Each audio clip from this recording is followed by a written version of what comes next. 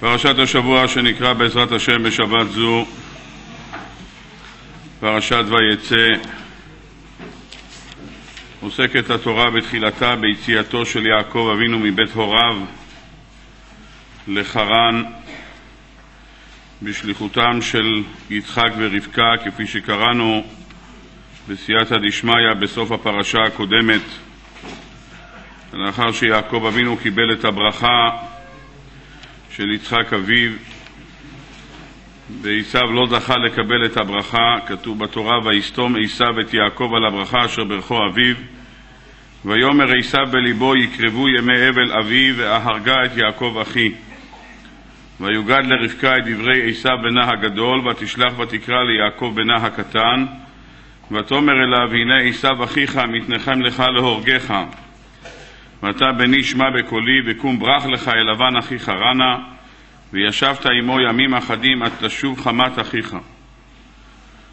עד שוב אף אחיך ממך, ושכח את אשר עשית לו, ושלחתי ולקחתיך משם. למה אשקל גם שניכם יום אחד, כפי שהגמרא אומרת מסכת סוטה, כפי שאכן היה. אמנם הם לא נהרגו באותו יום, אבל הם נקברו באותו יום, כך מביאה הגמרא במסכת סוטה. הפרשה שלנו, פרשת ויצא, עוסקת ביציאתו של יעקב אבינו באר שבע בדרכו לחרן, לאחר שהוא שהה 14 שנה בישיבתו של שם ועבר.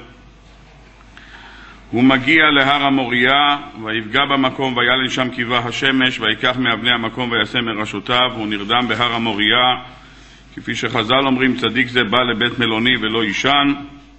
הוא חולם את חלום הסולם, והקדוש ברוך הוא מבטיח לו הבטחה והנה אנוכי עמך ושמרתיך בכל אשר תלך, ואשיבותיך אל האדמה הזאת, כי לא אעזובך עד אשר אם עשיתי את אשר דיברתי לך. יעקב אבינו שומע את ההבטחה הזאת, והוא יוצא בדרכו לחרן. אומרת התורה בתחילת פרק כ"ט: ויישא יעקב את רגליו, אומר רש"י, משנתבשר בשורה טובה שהובטח בשמירה, נשא ליבו את רגליו ונעשה קל ללכת. אחרי שהוא שמע שהקדוש ברוך הוא מבטיח לו שהוא ישמור אותו בדרך, אז קל לו היה לצאת לדרך.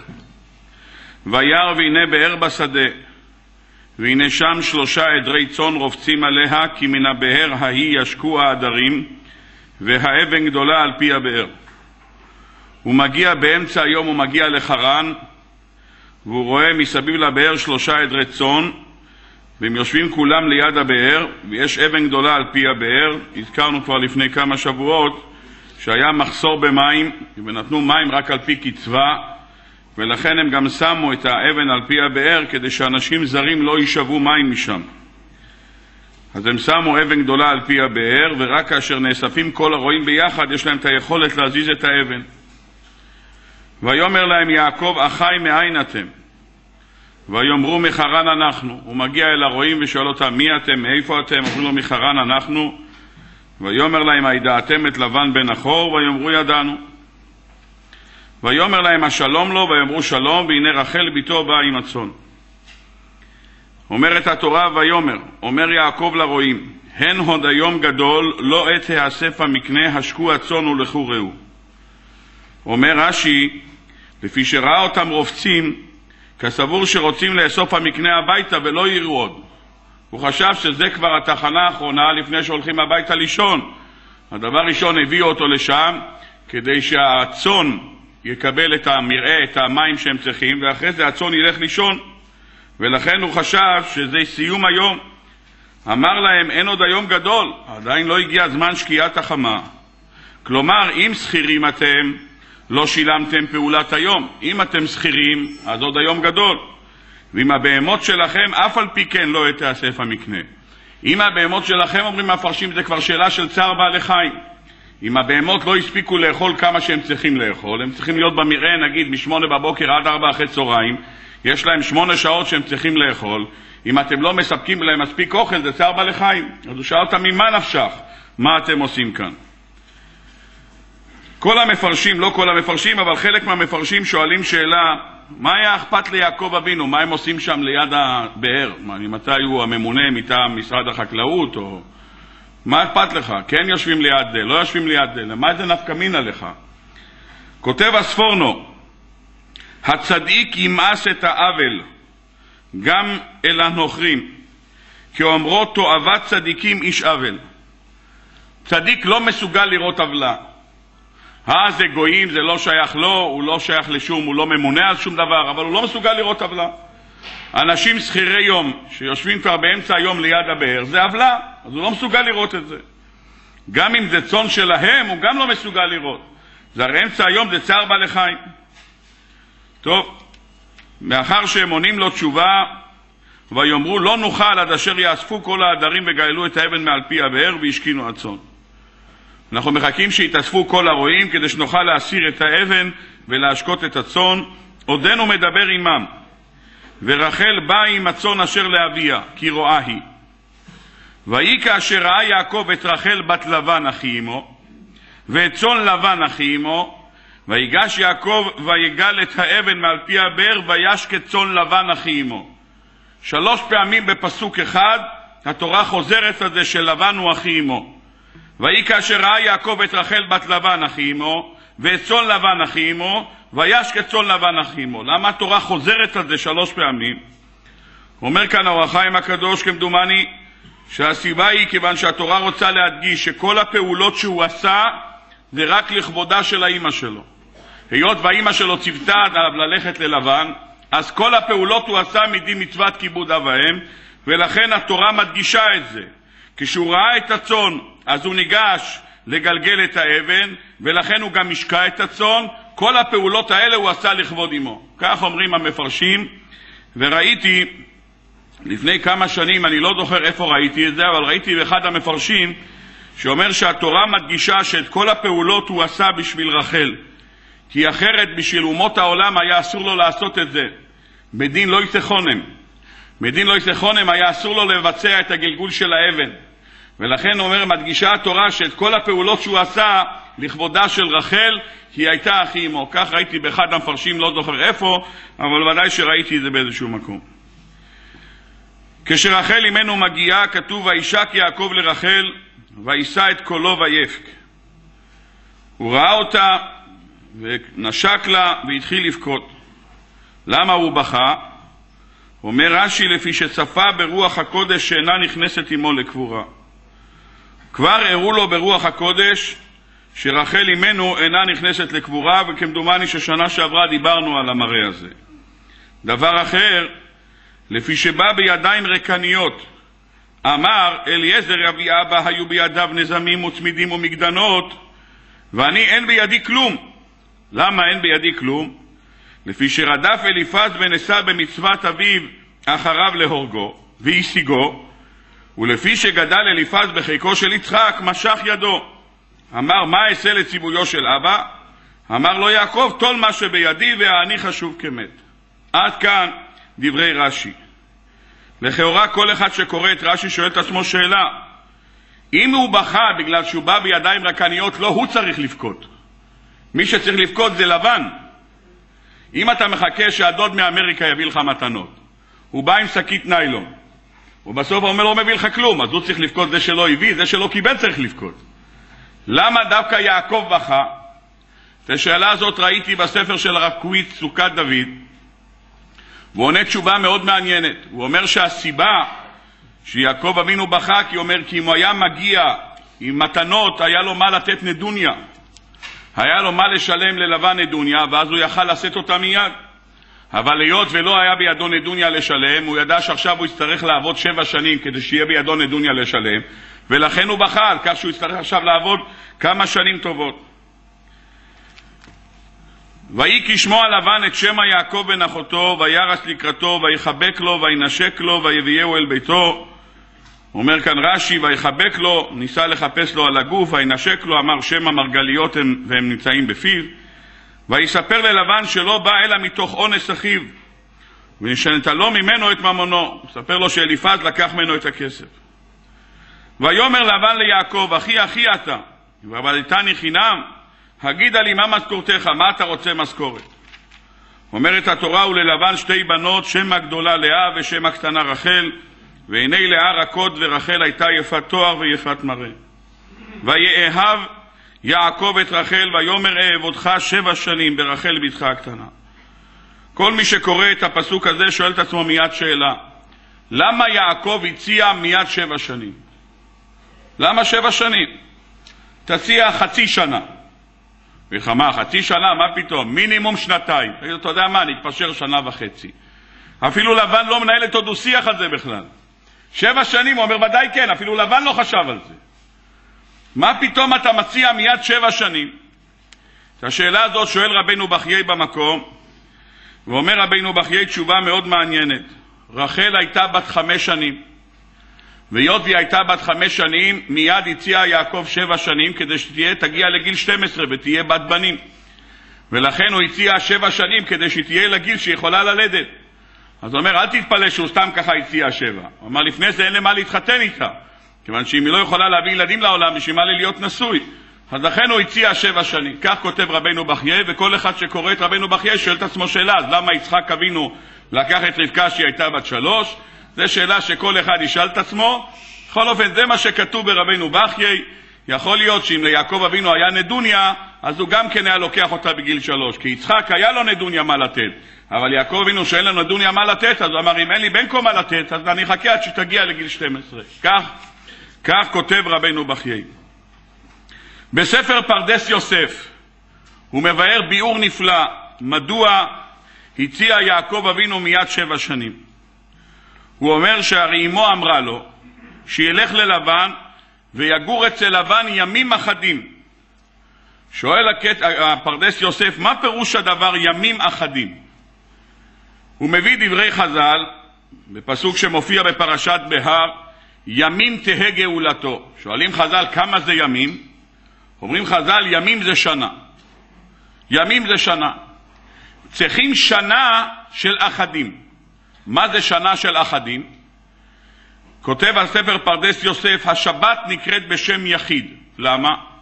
כי כתוב במדרש, אמרה השבת לקדוש ברוך הוא, לכל יום מימות השבוע יש בן זוג. לראשון יש את שני, לשלישי יש את רביעי, לחמישי יש את שישי, אני השבת אין לי בן זוג. אמר לה הקדוש ברוך הוא, כנסת ישראל בת זוגך. יוצא שהשבת היא הנקראת יחידה, היא יחיד, אין לה בן זוג. אמרה לו האימא שלו, תלך לאח שלי ללבן ותגור אצלו ימים אחדים. אם אתה אומר שימים זה שנה, כמו שכתוב ימים תהיה גאולתו, צריך להיות שנה של אחדים. כמה פעמים, כמה זמן צריך לעבור כדי שיהיה לך שנה של אחדים? בשנה יש לך 52 שבתות.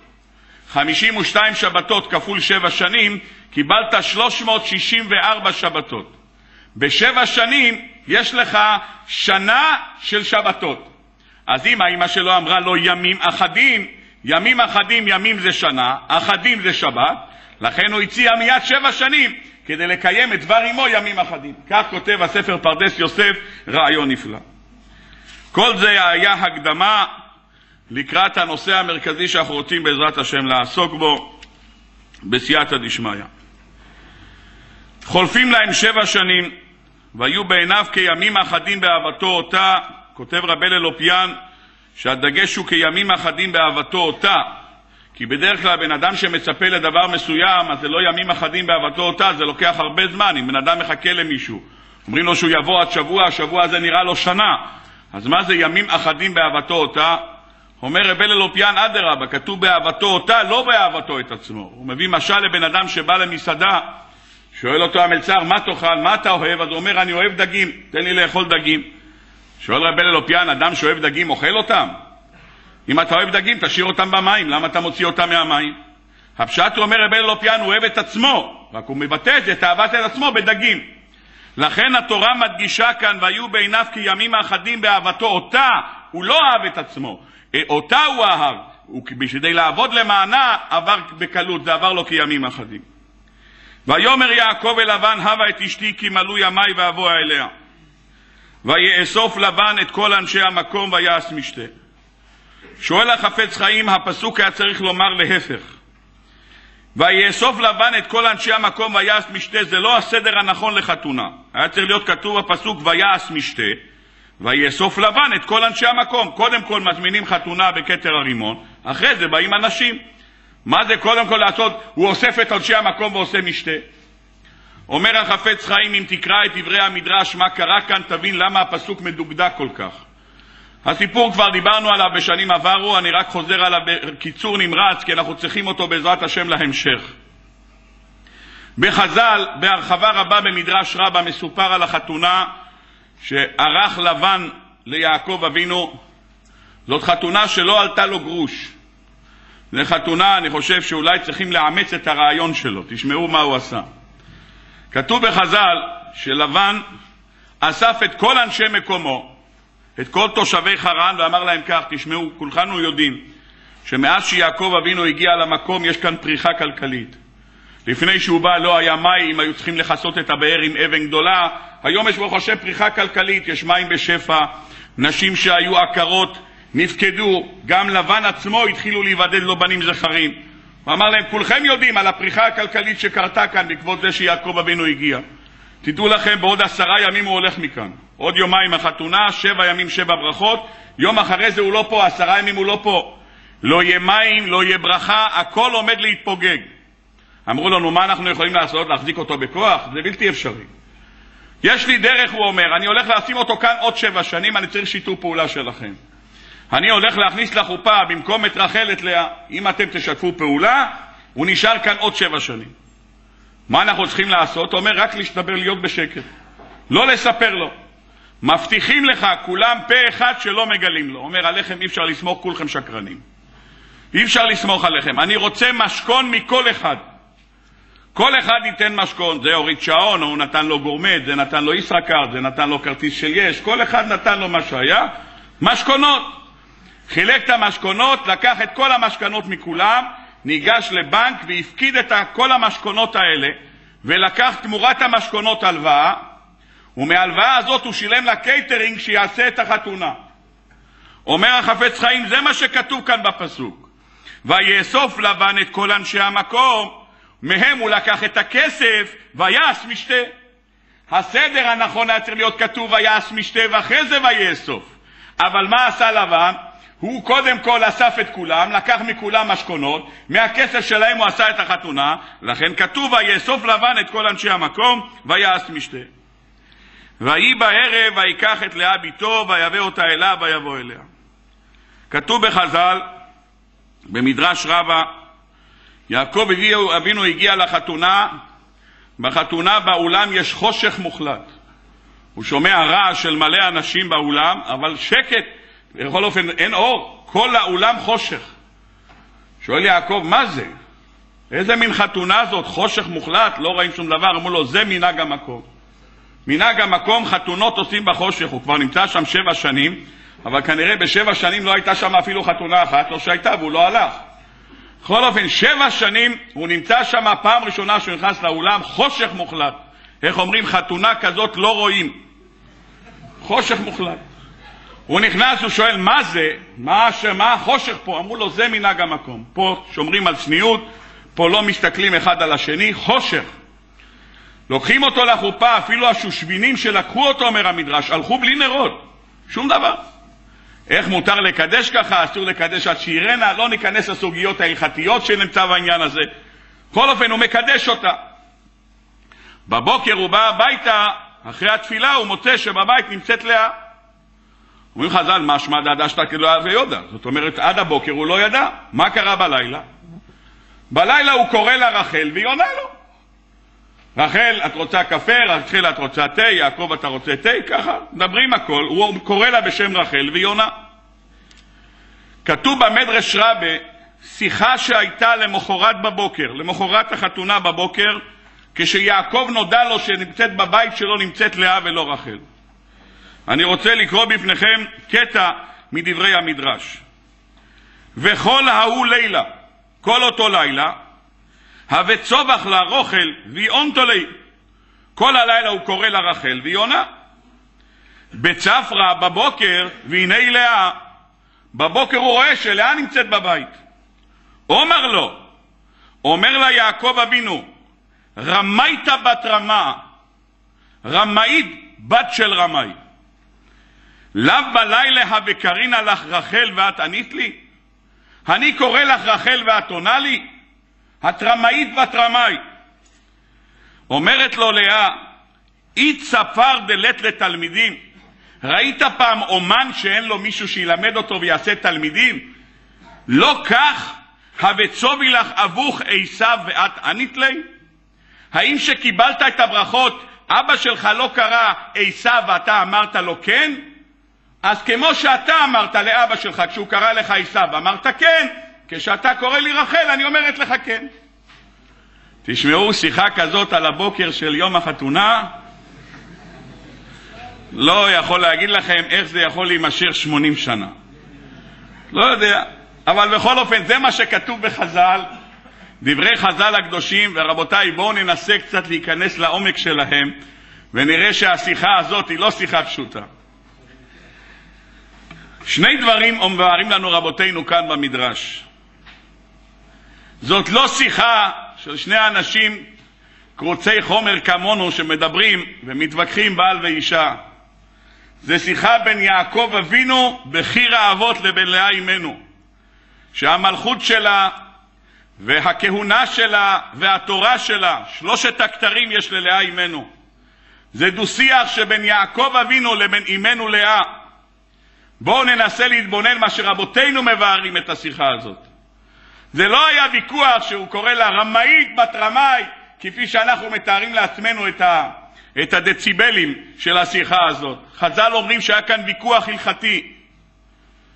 שאל אותה יעקב אבינו, תגידי, את לאה, שנחשבת הצדיקה, את לאה שריסי עינייך נפלו מרוב דמעות, שנאמר ועיני לאה רכות, את עושה מעשה כזה, מעשה של תרמית, איך זה מסתדר עם הצדקות שלך? לא שהוא בא לקנטר עליה ולהגיד לה רמאית בת רמאי. היא אמרה, אם את נחשבת צדיקה שהריסים של העיניים שלך נפלו בגלל שהתפללת כל כך, איך מותר לך לעשות מעשה כזה? אומרת לו לאה, דבר זה ממך למדתי. לא שהיא משיבה לו מנחת אפיים. את הדרך בהנהגה אתה הרבה שלי. אומר היפה תואר על המדרש, בוא אני אסביר לך מה כתוב כאן. אמרה לו לאה, תגיד לי, למה הלכת לקבל את הברכות? למה הלכת? אבא שלך אמר לעשיו ללכת להביא לו מטעמים, הוא רוצה לברך אותו, למה אתה הלכת? אתה יעקב איש האמת, תיתן אמת ליעקב. איך זה מסתדר איש אמת הולך לקבל ברכות שלא מגיעות לו? מה התשובה? אמא שלך אמרה לך, תלכת ללבוש את הבגדים ולך תעשה, תביא שני גדיי עזים, עשית מה שאימא שלך אמרה לך. למה?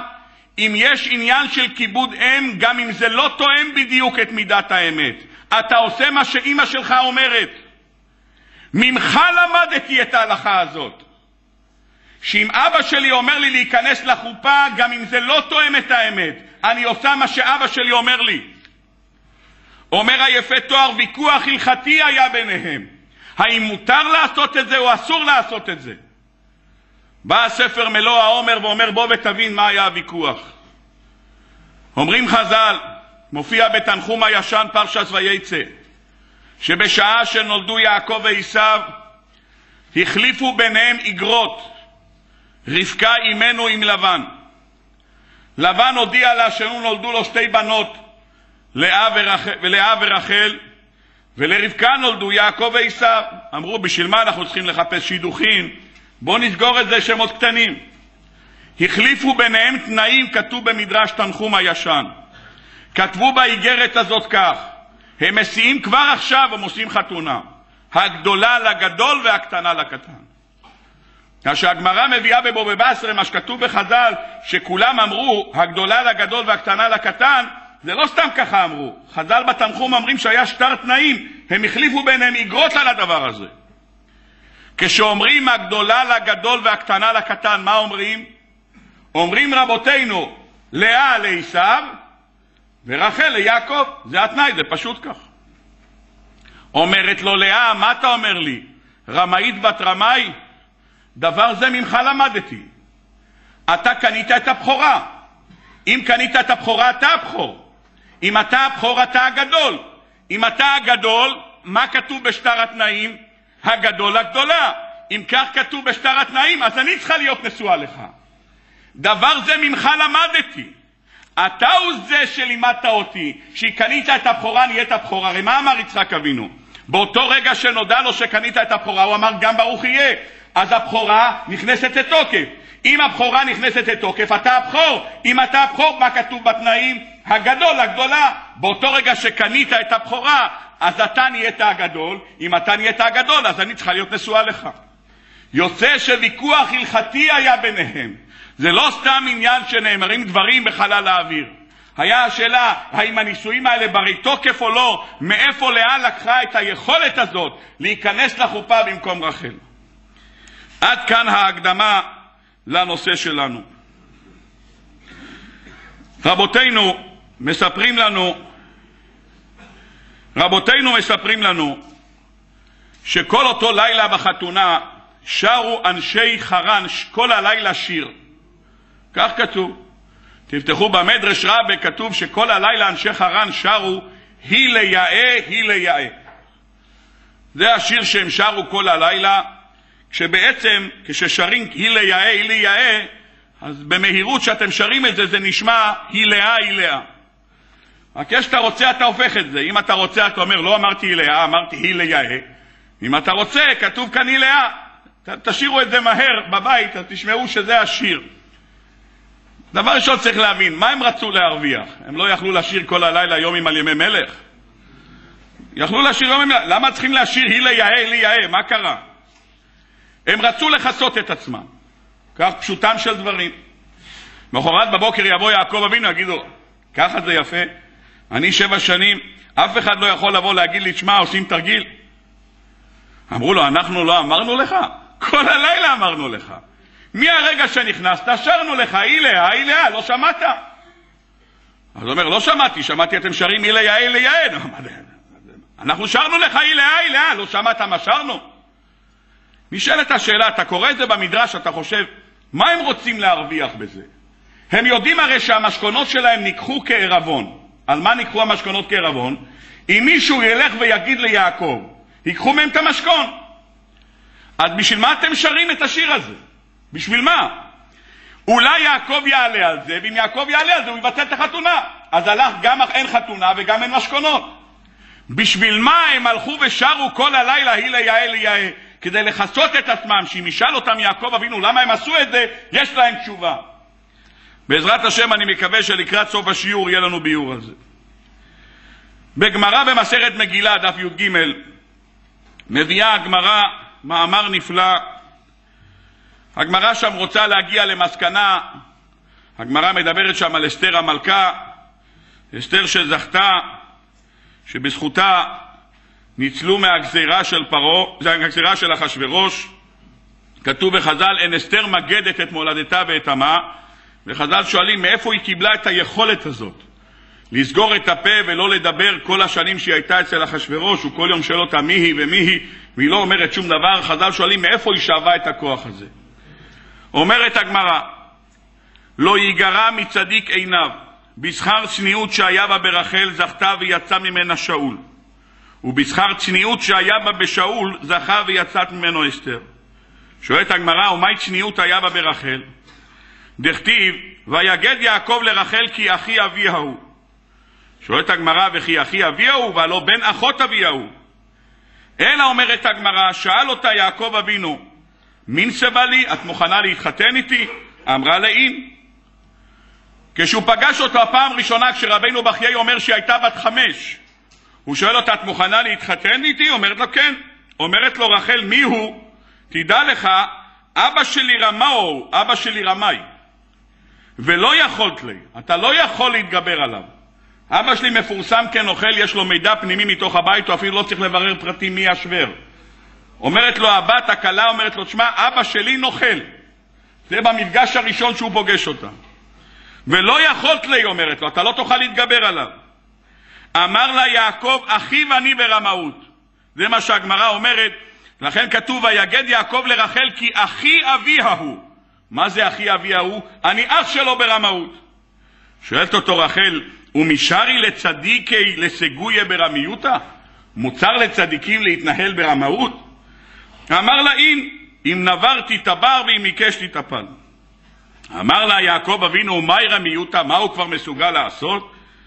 אמרה לי, אומרת לו רחל, אית לי אחותא קשישא מיני, יש לי אחות מבוגרת ממני, ולא מין סבלה מקמא, הוא לא יחתן אותי לפני שהוא יחתן אותה. אומר לה יעקב, זה ברגע אחד אפשר לפתור. זה באמת בעיה קטנה. מוסר לו סימונים. אומר לה יעקב אבינו, אני אתן לך סימנים, זה חסימה הכי פשוטה שיכולה להיות. את תבואי בלילה הביתה, אני אשאל אותך סימנים. מי שידע את הסימנים, היא תהיה אשתי. מי שלא תדע את הסימנים, היא לא תהיה אשתי.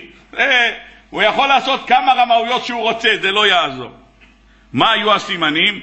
כתוב בריבו מבעלי התוספות שהסימנים היו חינה, חלה נידה הדלקת הנר, הוא מסר לה את ההלכות האלה שכל אישה צריכה לדעת, את ההלכות האלה הוא לימד אותה, ואמר לה, זה הסימנים, אני אשאל אותך את ההלכות האלה, מי שידע, היא תהיה אשתי. אומרת הגמרא, כמעט הלילה, הגיע חלוף שבע שנים, הגיע הלילה נישואים, אמרה רחל, השתא הלילה מחשפה אחויסי, הלילה הזה אחותי תתבזה, היא תבוא הביתה והוא ישאל את הסימנים והיא לא תדע, הוא יגרש אותה מהבית. מסרטינוני עליי, הלכה ומסרה את הסימנים האלה. והיינו דכתיבה היא בבוקר והנה לאה. למה רק בבוקר נודע? הרי יש סימנים. אומרת הגמרא, מכלל דעדשתא לא, לא לאי. עד עכשיו הוא לא ידע שזה לאה, אלא מתוך סימנים שמסרה רחל ללאה, לא אבי יודע דעדשתא. היות והוא שאל אותה את הסימנים והיא ידעה את הסימנים, אז ממילא הוא לא ידע שמדובר בלאה, הוא חשב שזה רחל. לפיכך זכתה ויצא ממנה שאול. ומה צניעות הייתה בשאול, דכתיב בדבר המלוכה לא הגיד לו. זכה ויצאה משאול, זכתה ויצאה ממנו אסתר, שהייתה צנועה. דכתיב אין אסתר מגד את מולדתה ואת עמה. עד כאן דברי הגמרא. דבר אחד אני לא מבין בגמרא. מה זה קשור לצניעות? בשכר צניעות שהיה בה ברחל, מה זה קשור לצניעות? אם חז"ל אומרים בשכר שמירת סוד שהיה בה ברחל, יצא שאול בעל סוד, בשכר סוד שהיה בשאול יצא גם, יצא גם אסתר בעלת סוד, אז זה בסדר גמור. מה זה קשור לצניעות? לכאורה השאלה שאלה בגלל שהמדרש, מדרש רבה, פרק ע"א, אומר המדרש, רחל תפסה פלך שתיקה עמדו כל בניה בעלי מסתרים. המדרש אומר בדיוק מה שאנחנו שואלים. רחל אחזה פלך שתיקה, היא ידעה לשמור סוד. מה לשמור סוד? היא לא סיפרה ליעקב שלבן הולך להחליף אותה. היא שמרה סוד, עמדו כל בניה בעלי מסתרים. בנימין יושפה, הבנימין האבן שלו באבני החושן הייתה, קוראים לה יושפה. יושפה זה חיבור של שני מילים, אומר המדרש. יש פה יודע במכירתו של יוסף ואינו מגיד. הוא יודע לשמור סוד. שאול, הוא התמנה למלך ודבר המלוכה לא הגיד, הוא שומר סוד. אסתר, אין אסתר מגד את עמה ואת מולדתה. המדרש כאן באמת לוקח את זה למחוז אחר לגמרי. המדרש אומר, רחל ידעה לשמור סוד, כל הצאצאים שלה שומרים סוד. מה זה קשור לצניעות? זה לא קשור לכאורה לצניעות. רש"י שם, במגילה אומר מה צניעות? שהיא מסרה לאחותה את הסימנים, אומר רש"י, אבל היא לא אמרה לאחותה שזה סימנים. היא לימדה אותה את ההלכות, ואמרה לה, ישנם הלכות של חלה נידה הדלקת הנר. היא לימדה אותה את ההלכות, אבל היא לא אמרה לה שזה איזה סימנים בינה לבין יעקב, היא רק לימדה אותה את ההלכות. אומר רש"י, לזה קוראים צניעות. אני לא מבין למה קוראים לזה צניעות. קוראים לזה שמירת סוד. היא רוצה לשמור סוד שהיה בינה לבין יעקב, לא לגלות שזה... למה זה קשור לצניעות? ישנו מדרש נוסף שכמדומני הזכרנו את זה בשנה שעברה, נזכיר אותו בקיצור נמרץ. המדרש הוא נפלא, מופיע בפתיחה לאיכה. כתוב במדרש כך: כתוב שלאחר שחרב הבית, ירמיהו ישב וקונן על החורבן. כתוב בחז"ל שאברום הוביל, שהקדוש ברוך הוא אמר לירמיהו, לך תאיר את אברהם, יצחק, יעקב ומשה מקבריהם, כי הם יודעים לבכות. שולח הקדוש ברוך הוא את ירמיהו הנביא ללכת להעיר את אברהם, יצחק ויעקב ולהעיר את משה רבינו מהקבר שלהם, כי הם יודעים לבכות, הם יודעים לקונן על החורבן. אומר לו ירמיהו, ריבונו של עולם, אני לא יודע איפה משה קבור. האבות הקדושים מערת המכפלה אני יודע, אבל אני לא יודע איפה משה קבור. אמר לו הקדוש ברוך הוא, לך עמוד על שפת הירדן, ותקרא למשה בן עמרם בן עמרם, עמוד וראה צונך, שקראו אויבים. אתה תעמוד על גדת הירדן וכך תגיד, ומשה רבינו כבר ישמע את הקול שלך ויצא לבד. מיד הלך ירמיהו למערת המכפלה, לאבות העולם, ואמר להם, עמדו שהגיע הזמן שאתם מתבקשים לפני הקדוש ברוך הוא. אמרו לו, מה היום מיומיים, מה קרה? אמר להם, איני יודע, מפני שהיה ירא מלומר להם שנחרב הבית. אמר אברהם לפני הקדוש ברוך הוא, ריבונו של עולם, מפני מה הגלית את בניי ומסרטן ביד האומות והרגום בכל מיני מיתות משונות, והחרבת את בית המקדש? אמר לו הקדוש ברוך הוא לאברהם, בניך חטאו ועברו על כל התורה ועל כ"ב אותיות שבה. עומר אברום לפני הקדוש ברוך הוא ריבונו של עולם, מי מעיד בהם? בישראל שעברו את תורתך. אומר לו הקדוש ברוך הוא, תבוא תורה ותעיד בהם. מיד באה התורה להעיד בהם. אומר לו אברום, בתי, את באה להעיד בהם בישראל שעברו על מצוותייך? אין לך בושת פנים מפניי? זכרי את היום שהחזירך הקדוש ברוך הוא על כל אומה ולשון, ולא רצו לקבלך. כל האומות הסתובב הקדוש ברוך הוא הציע מי מוכן לקבל את התורה, אף אחד לא רצה לקבלך. עד שבאו בניי להר סיני וקיבלו אותך וכיבדוך, ועכשיו את באה להעיד כנגדם ביום צרתם? כיוון ששמע תורה כך, הלכה ועמדה לצד ולא העידה. קרא הקדוש ברוך הוא לכ"ב אותיות, מגיע אות א', ונעמדת אומר לאברום אבינו, בך פתח הקדוש ברוך הוא באנוכי. איך את הולכת להעיד בעם ישראל? ככה באה אות ב', המדרש מעריך מאוד, כדאי להסתכל שם בפנים. מיד פתח אברהם אבינו ואמר, ריבונו של עולם, למאה שנה נתת לי בן, וכשעמד על דעתו והיה בחור בן שלושים ושבע שנים, אמרת לי, יעלהו לעולה לפניי ונעשיתי עליו אכזרי, ולא ריחמתי עליו, אלא אני בעצמי כפתתי אותו. ולא תזכור לי זאת ולא תרחם על בניי? שואל אברום אבינו. פתח יצחק ואמר, ריבונו של עולם, כשאמר לי אבא אלוקים יראה לו עשה לעולה בני, לא עיכבתי על דבריך. אני לא שמעתי ישירות ציווי ממך, אבא אמר לי ככה. ונעקדתי ברצון על גבי המזבח, ופשטתי את צווארי תחת הסכין, ולא תזכור לי זאת ולא תרחם על בניי? כך שואל יצחק אבינו. פתח יעקב ואמר, ריבונו של עולם, לא עשרים שנה עבדתי בבית לבן, וכשיצאתי מביתו פגע בי עשיו הרשע, וביקש להרוג את בניי, ומסרתי את עצמי למיתה עליהם. ועכשיו נמסרו ביד אויביהם כצאן לטבחה, לאחר שגידלתים כאפרוחים של תרנגולים, וסבלתי עליהם צער של גידולבונים, כי רוב ימיי הייתי בצער גודל עבורם. רוב החיים שלי הייתי בצער גדול על גידול בנים. ולא תזכור לי זאת ולא תרחם על בניי. פתח משה ואמר, ריבונו של עולם, לא רואה נאמן הייתי על ישראל ארבעים שנה, ורצתי לפניהם כסוס במדבר, וכשהגיע הזמן שייכנסו לארץ גזרת עליי, במדבר הזה יפלו עצמותיי. ועכשיו שגלו שלחת לשפוט ולבכות עליהם. ומוישה רבינו מבקש מירמיהו שיבוא יביא לו, יראה לו את חורבן הבית. כתוב שהם הלכו וכל הדרך הייתה מלאה גופות.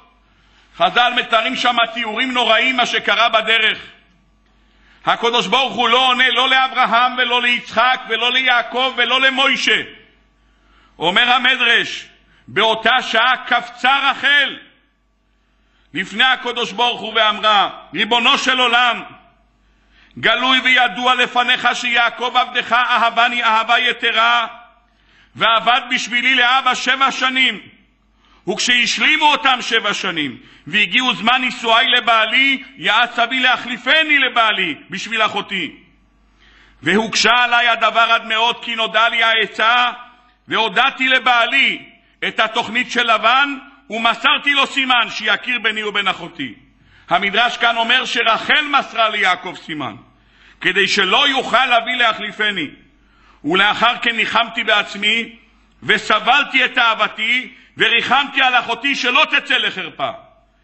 ולערב חילפו אחותי לבעלי בשבילי, ומסרתי לאחותי את כל הסימנים שמסרתי לבעלי, כדי שיהיה סבור שהיא רחל. וגמלתי חסד עמה, ולא קינאתי בה, ולא הוצאתיה לבושה ולחרפה. ומה אני אומרת רחל הקדוש ברוך הוא? שאני בשר ודם, עפר ואפר. לא קינאתי לצרה שלי, ולא הוצאתיה לבושה ולחרפה.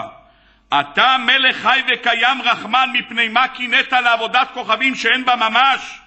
והגלית את בניי, ונהרגו בחרב, ועשו אויבם בם כרצונם? מיד נתגלגלו רחמיו של הקדוש ברוך הוא ואמר, בשבילך רחל, בשבילך אני מחזיר בנים למקומם.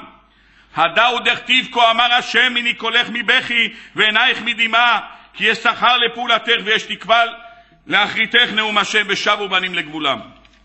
אלה דברי המדרש שמופיע בפתיחה לאיכה.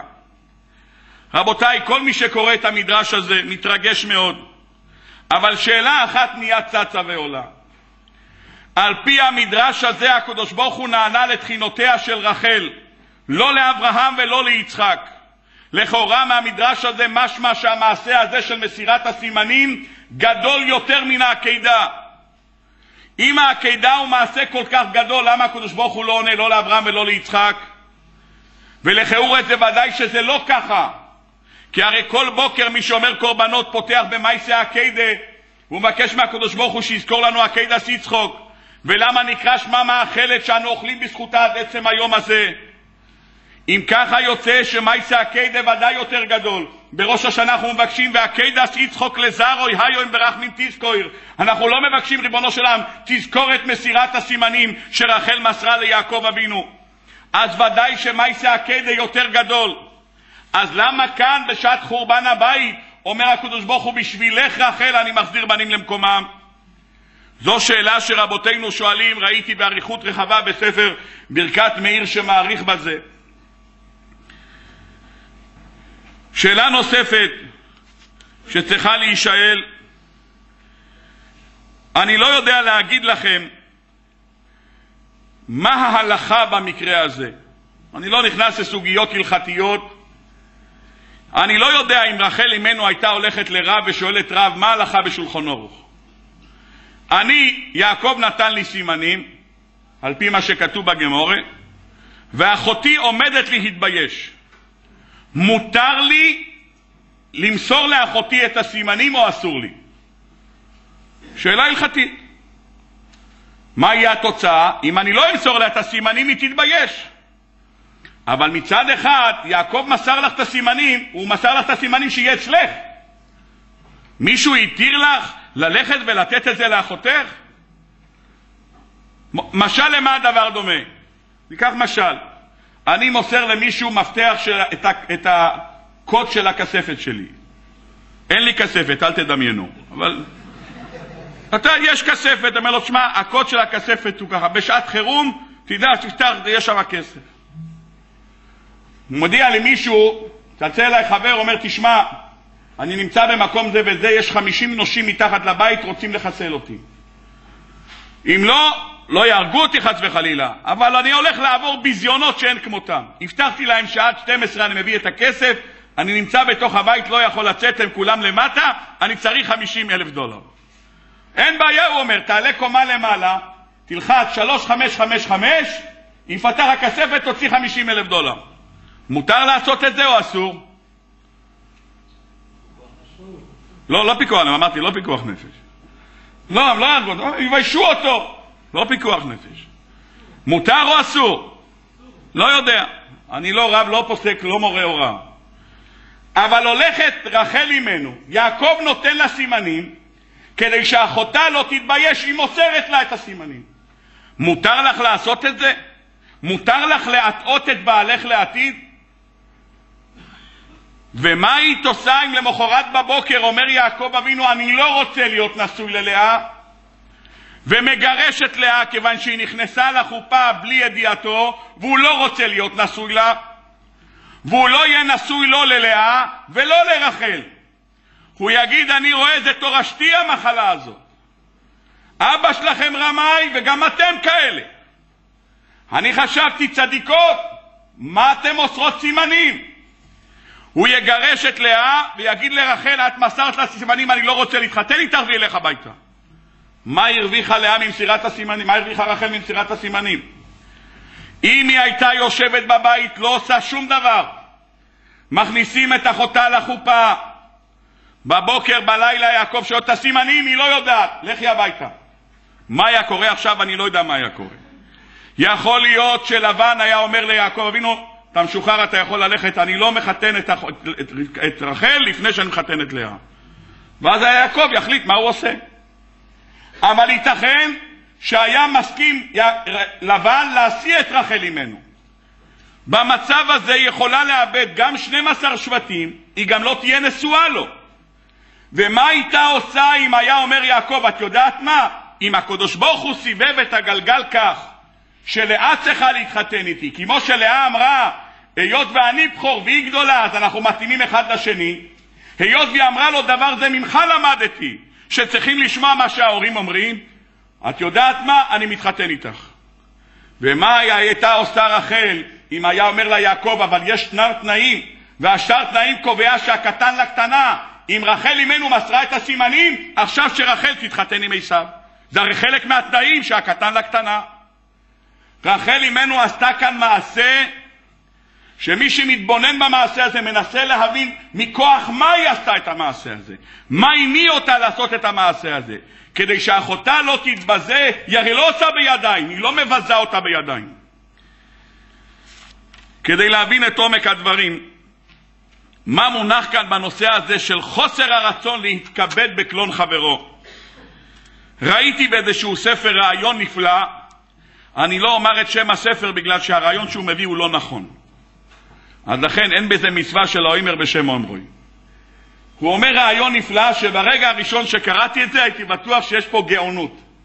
אבל אחרי זה הבנתי שזה לא נכון. תשמעו מה הוא אומר. השאלה שנשאלת על השאלה הראשונה, למה הקדוש ברוך הוא לא מקבל את מעשיה העקידה ומקבל את מעשיה של רחל, הוא עונה תשובה מאוד יפה. הוא מביא את הגמרא במסכת גיטין, אומרת הגמרא, על קמצא ובר קמצא חרבה ירושלים. כך כתוב בגמרא. מה קרה? כולנו מכירים את הסיפור של קמצא בר קמצא בעל פה. מספרת הגמרא שם, אחד ערך שמחה, אנחנו לא יודעים את השם שלו עד עצם היום הזה, היה לו אורח חבר שקראו לו קמצא, והיה לו שונא שקראו לו בר קמצא. הוא שלח את המשבק שלו שילך להזמין את בר קמצא, אה, להזמין את קמצא. הלך המשבק, הזמין את בר קמצא. בר קמצא הגיע, הוא שמח מאוד, אה, יום של שמחה, הוא משלים, ההוא עושה חתונה וגם משלים איתו שתי שמחות, מכה אחת, מתלבש יפה, נכנס לחתונה, רואה אותו בעל השמחה, אומר, מה אתה עושה פה? מה, מה אני עושה פה? זה משה שלך, הזמין אותי. משה שלי הזמין אותך. משה, אתה הזמנת אותו? אומר, כן, אמרת לי להזמין אותו. אני אמרתי לך להזמין אותו, אמרתי לך להזמין את קמצא, מה אתה מזמין לי אותו? טוב, טעות, אדוני, תתפוס את הדברים, קח את השניצל, לך החוצה. כבר באתי, אומר, עזוב אותי, למה אתה זורק? כבר באתי. קח, כמה? קח 100 שקל, כמה עולה מנה? 20 דולר, קח. 200 שקל, 40 דולר, קח. עזוב אותי כבר פה, אל תבייש אותי. עזוב, אומר, אני מבקש לך, תצא מפה. לא רוצה לראות אותך. אתן לך חצי חתונה, קח עשרת אלפים דולר. אתן לך צ'ק עכשיו, 40 אלף שקל. לא רוצה, אומר, תצא החוצה, לא שווה לי לראות אותך פה בשביל 40 אלף שקל. אתן לך כל החתונה, 20 אלף דולר, קח 80 אלף שקל. לא רוצה, צא החוצה. זורק אותו החוצה, יוצא בר קמצא החוצה ואומר, מה? יושבים פה 500 איש באולם, כל הרבנים בשולחן הנשיאות, אף אחד לא אומר כלום. סימן שכולם מרוצים ממה שהוא עשה. אם ככה אני הולך לקיסר. הלך לקיסר, מרדו בך היהודים, שלח קורבן, הטילו מום בעין, בפה, הלכו, כולנו מכירים, ענוונתו זכריה בן אבקולס, כולם מכירים את הגמרא. יוצא, מה שכתוב כאן בגמרא, שאם היה מאן דהוא מהנוכחים קם ומוחה על הביזיון של בר קמצא, הוא לא היה הולך לקיסר. למה הוא הלך לקיסר? הוא הלך לקיסר כיוון שכל הנוכחים באולם, כולל השולחן הנשיאות, אף אחד לא הגיב. הוא אומר שמע מינה שכולם שותפים לעניין. יוצא שחמש מאות איש השתתפו בביזיון של בר קמצא, ועל זה הוא הלך לקיסר. כותב אותו ספר, לכן רק מה שרחל אמרה יכולה להגן במידה כנגד מידה על המעשה הזה של בר קמצא. למה? הרי מה היה במעשה של בר קמצא? ביזו אותו, השפילו אותו. אומר אותו ספר, אז מה יעזור העקידת יצחק של אברום אבינו? מה יעזור העקידה של יצחוק? זה לא יעזור. למה לא יעזור? כי הקדוש ברוך הוא מחפש לכפר על המייסה של קמצא בר קמצא. איך הוא יכפר על זה? הוא יכפר על זה על מה שרחל אמנו מסרה את הסימנים לאחותה, כדי שאחותה לא תתבזה, אז זה מידו כנגד מידו. אם רחל אמנו מסרה את הסימנים כדי שאחותה לא תצא לביזיון, כנגד זה אמר קדוש ברוך הוא, אני אכפר על הביזיון שעשו לבר קמצא. רעיון גאוני, נכון? למה הוא לא נכון? אה? או, הכל נכון, הפירוש יפה, רק זה לא מתאים לפה. למה? כי ירמיהו ישב וכונן על החורבן, זה היה בבייס ראשון. וכל מה שאמרה לו רחל, אמרה לקדוש ברוך הוא, ריבונו של עולם, ומה אני שאני בשר, בשר ודם עפר ואפר לא קינאתי לצרה שלי, אתה מה אתה מקנא לעבוד אזורי? המייסים בר קמצא בית שני, אם זה בית שני זה לא קשור לעניין, אז לכן אני לא אומר מי אומר את הוורט הזה, רק תדעו שהוורט הזה קיים. נקדם בעזרת השם לעומק הדברים, וננסה בעזרת השם לרדת ליסוד נפלא. עד עכשיו הבאנו את הגמרא במסכת מגילה, הגמרא אומרת בשכר צניעות שהיה בה ברחל. במדרש כתוב בשכר סודות ששמרה רחל, יצאו כל צאצאיה בעלי מסתרים, כולם יודעים לשמור סוד. במדרש באיכו כתוב, אמרה לו רחל, בשכר זה שלא קינאתי לאחותי, ולא הוצאתיה לבושה ולחרפה, לכן היא מבקשת. רבותיי, חידוש גדול. מופיע בתנחומי פרשת וייצא באות ו'. תשמעו מה כתוב. כולנו מסתכלים על המעשה הזה של רחל אימנו, מסתכלים על מעשה של מסירת הסימנים בליל החתונה. רבותיי, רחל אימנו עוברת שבע שנים מהרגע שהיא נפגשה עם יעקב אבינו והיא אמרה ליעקב שהיא מוכנה להינשא לו, מתעלל בלבן. תשמעו מה כתוב במדרש תנחומה. ברגע שיעקב ורחל סיכמו ביניהם שהם מתחתנים, הם סיכמו שהם מתחתנים, שולח יעקב סבלונות לכלתו. הוא שולח לה מתנות, לא כתוב במדרש מה, אבל מסתומס, סידורים, מחזורים, זר פרחים, ברכונים, כל אחד, כיד הטובה עליכם, מי שיש לו חתן וכלה בבית יודע שיש תפריט מיוחד מה שולחים. קיצור, שלחו את כל מה שיש שבע שנים. אז שבע שנים הוא הרי לא בא כל יום, אז הוא בא פעם בשלושה רגלים, אז לפסח הוא קנה משהו, ולשבועות הוא קנה זר פרחים, ולסוכות הוא הביא משהו. כל פעם הוא מביא. לוקח לבן את המתנה, משנה את התכתובת שכתוב לארוסתי רחל, ומעביר את זה ללאה. רחל יודעת ושותקת. יודעת ושותקת שבע שנים. מגיע שליח, מביא זר פרחים, לרחל מקבלת את זה, לבן לוקח הפתק, תולה, שם פתק אחר, מעביר לחדר השני. שבע שנים מקבלת סבלונות ושותקת. אומר לו הקדוש ברוך הוא, את שתקת, חייך, בזכות אותה שתיקה אני זוכרך, שנאמר ויזכור לוקים את רחל. רבותיי, זה לא רק מסירת הסימנים, זה לא רק שבע שנים, זה לא רק ליל החופה, זה כבר אחרי שהם נשואים כמה שנים. שבוע אחרי החתונה שהתחתן יעקב אבינו עם לאה, מחכים אחרי השבע ברכות, חתונה חדשה. יעקב אבינו מתחתן עכשיו עם רחל. הוא מתחתן עם רחל והם נשואים. אחרי שהם נשואים, אחרי שהם נשואים, אומרים רבותינו, כתוב פסוק בתורה,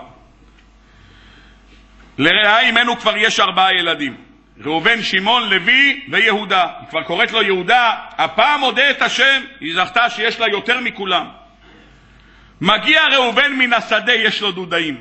דודאים, אומרים חז"ל, זה סגולה ללדת. הקר והקרה שאוכלים דודאים, יש לזה סגולה ללדת. מבקשת רחל אימנו מלאה, תני לי מעט מדודאי בנך, תני לי בבקשה קצת, אני עקרה עדיין, תני לי לאכול קצת מהדודאים. אומרת לה לאה, המעט קחתך את אישי ולקחת גם את דודאי בני? לא רק שלקחת את בעלי, את גם רוצה את הדודאים? בדודאים שלי את רוצה לקנות את בעלי? לשון חז"ל במדרש, אמרה לה את צודקת, לכן תקבלי פיצוי. רבותיי, אתה קורא את הפסוק הזה, אני לקחתי את בעלך? אני? אם אני לא הייתי מוסרת לך את הסימנים, איפה היית היום? בבית. אני לקחתי את בעלך? ורחל לא מוציאה מילה. את צודקת, סליחה, תקבלי פיצוי. לא שבע שנים, לא ליל החתונה, לא רק מסירת הסימנים. היא כבר נשואה לו ארבע שנים. באה אחותה ואומרת לה בפנים, אומר, מה את עושה? לקחת את בעלי, גם את הדודאים, היא יושבת בשקט. רבותיי, אני רוצה לדבר קצת על פלח השתיקה ולרדת קצת לעומק של הדברים. ננסה לקצר בדברים, כי באמת הדברים הם רחבים מאוד. נתפוס שני נקודות. בפרשת ויירו, לפני כמה שבועות, הקדוש ברוך הוא שולח מלאכים להפוך את סדום. אומרת התורה, ויהי בשחט אלוקים את ערי הכיכר, ויזכור אלוקים את אברהם, וישלח את לוט מתוך ההפיכה בהפוך את הערים אשר ישב בהם לוט. אומר רש"י, מה זכירתו של אברהם על לוט? מה קרה? נזכר שהיה לוט יודע ששרה אשתו של אברהם, ושמע שאמר אברהם במצרים על שרה, אחותי היא, ולא גילה הדבר, שהיה חס עליו. לפיכך חס הקדוש ברוך הוא עליו. שמעתם מה כתוב כאן? הולך לוט עם אברהם. הוא הולך איתו, הוא מגיע למכס, הוא מגיע לבית המכס, שואלים מה זה, מי זה הגברת? אומר אברהם, זאת אחותי. לוט יכל לעשות מאחורה ככה. יעשה לעשות למוחץ ככה, או מאחורה להגיד לו לא. הוא עשה כן עם הראש, יופי. כשנמצא בצרה צריכים להציל אותו מסדום, מה זוכרים לו? שהוא סגר את הפה שלו. והוא לא אמר על שרה אימנו שהיא אשתו ולא אחותו. מה? על זה מצילים אותו. לכאורה הדבר הזה פלא. למה הדבר הזה פלא? משום שהרמב"ן, הרמב"ן כותב, ויזכור אלוקים, אומר הרמב"ן, את מה הוא זכר? את זה שלוט הלך ביחד עם אברהם. בגיל 75 הקדוש ברוך הוא שולח את אברהם בצרה, ולוט מקבל על עצמו ומלווה אותם. על זה לבד אומר הרמב"ן צריך לזכור אותו. זה הוא לא זכר אותו.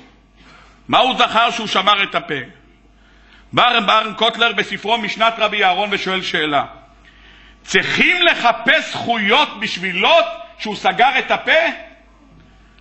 צריכים לקבל זכויות. אתה יודע מה זה היה לוט? לוט היה מוכן למות על הכנסת אורחים. היה מוכן למות. מגיעים אליו המהלכים, הוא מכניס אותם הביתה והוא מבקש מהם בקשה. בבקשה, אני מבקש מכם. לינו ורחצו רגליכם. קודם כל תלכו לישון, אל תרחצו את הרגליים. למה?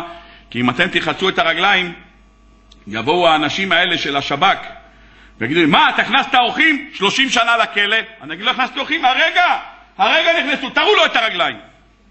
רואים את האבק, אומר, אתם רואים? הרגע נכנסו. מס הכנסה מגיע, אומר, למה גנבת? אומר, מה גנבת? עוד לא פתחתי קופה, מה אתה רוצה? איך שהוא נכנס, אומר, הנה, אתה רואה, תראה. הולך לוט, ברגע שאשתו הולכת החוצה ומחפשת מלח, רק עבר בהודעה מקומית שהגיעו אורחים, כל אנשי העיר נסובו על הבית, מקטן ועד גדול. רוצים דם, תביא לנו אותם, רוצים לרצוח אותם. לוט נמצא בסכנת נפשות, מוכן למסור את נפשו ואת בנותיו רק כדי להגן על האורחים. הקדוש ברוך הוא מחפש זכויות ללוט, אתה יודע מה הוא עשה? הוא סגר את הפה. ברגע שאמרו חקירה, הוא ישב בשקט. הוא ישב בשקט, אומר, צריך לזכור להוציא אותו מסדום. שואל לבן קוטלר, מחפשים לו זכויות, חסר לו זכויות? סגירת הפה זה הזכויות שלו? שואל רבן קוטלר שאלה עוד יותר קשה. כל מה שהקדוש ברוך הוא הפך את סדום זה בזכותו של בת של לוט.